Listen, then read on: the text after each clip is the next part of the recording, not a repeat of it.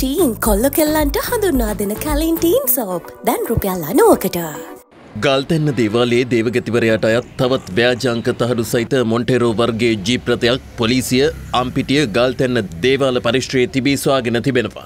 මෙලෙස පොලිසිය භාරයටගත් ජීප්‍රතය සවිකර තිබූ අංක තහඩුව මෝටරත ලියාපදිංචි කිරීමේ දෙපාර්තමේන්තුව වෙත යොමු කර සිදු කළ විමර්ශනවලදී එම අංකයට නීත්‍යානුකූලව ලියාපදිංචි කළ තවත් මෝටර් රථයක් කුලියාපිටිය ප්‍රදේශයේ ව්‍යාපාරිකයෙකු සතු ඇති බවට හෙළිව තිබෙනවා. මෙම දේවගතිවරයා ව්‍යාජංක තහඩු සහිත තවත් මොන්ටේරෝ වර්ගේ ජීප්‍රතයක් වසර ගණනාවක සිට භාවිත කර ඇති බවට අනාවරණ වූ කරුණු මත ඔහුව පසුගිය දෙවනදා අත්අඩංගුවටගෙන රක්ෂිත බන්ධනාගාර ගත කිරීමට කටයුතු කළා. ඒ ඔස්සේ සිදු කළ විමර්ශන මතයි මෙම ජීප්‍රතය ඊයේ සොයා ගැනීමට හැකිව ඇත්තේ. මේ අතර රුපියල් කෝටියකට ආසන්න වටිනාකමකින් යුත් කොකේන් මද්‍රව්‍ය තොගයක් සමග සියරා ලියුන් ජාතිකයෙකු පොලිස් මද්‍රව්‍ය නාශක කාර්යාංශය විසින් අත්අඩංගුවට ගෙන තිබෙනවා. බොරැල්ල කොටාපාර ප්‍රදේශයේදී අත්අඩංගුවටගත් එම සැකකරු සතුව තිබී ඇමරිකානු ඩොලර් 500ක් සමග තවත් විදේශීය මුදල් නෝට්ටු කිහිපයක්ද පොලිස් භාරයට ගෙන තිබෙනවා. මේ අතර වෙරළබඩ පොලිස් මේ ප්‍රදේශ තුනක සිදු කළ මෙහෙයුමකදී මද්‍රව්‍ය සන්තකයේ තබාගත් කාන්තාවන් දෙදෙනෙකු ඇතුළු පුද්ගලින් 28 දෙනෙකු අත්අඩංගුවට ගෙන තිබෙනවා. එහිදී අයිස් මද්‍රව්‍ය මිලිග්‍රෑම් 12900ක්, හෙරොයින් මද්‍රව්‍ය මිලිග්‍රෑම් 5900ක් සහ ගංජා ග්‍රෑම් 10ක් අදාළ සැකකරුවන් සතුව තිබී පොලිසිය සිය බහරයට ගෙන තිබෙනවා. මේ අතර කේරළ ගංජා කිලෝග්‍රෑම් 6යි ග්‍රෑම් 200ක් සන්තකයේ තබාගෙන සිටි පුද්ගලයෙකු කිලිනොච්චිය ප්‍රදේශයේදී පොලිස්